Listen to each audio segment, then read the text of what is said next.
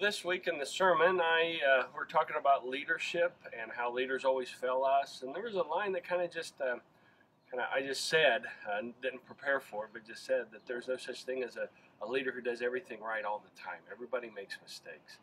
It's part of our sin doctrine uh, of original sin about how we are. Uh, we as human beings, we're sinful. We make mistakes. Uh, that's why we need grace. That's why we need love. That's why we need forgiveness. That's why Jesus died on the cross. And so this week I challenge you to, to remind yourself that uh, your need for God because of how you fail uh, a lot in life. And so there's this uh, there's this book that's really impacted me. It's called The Way of the Pilgrim, and it's about an Eastern Orthodox monk who travels all around, and he gets this prayer from an older monk, and it's called the Jesus Prayer. Lord Jesus, Son of God, have mercy on me, a sinner. Lord Jesus, Son of God, have mercy on me, a sinner.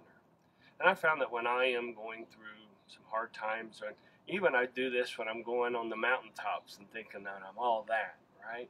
Uh, I say this prayer to remind myself I'm in constant need of God. So I challenge you this week to pray this Jesus prayer Lord Jesus, Son of God, have mercy on me, a sinner. I want you to pray it when you wake up. I want you to pray it when you eat breakfast or have your morning cup of coffee. Pray it when you have lunch. Pray it when you have dinner. And then pray it when you go to bed.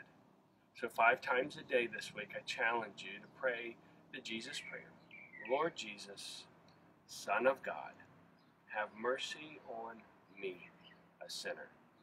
Thanks, and have a holy week.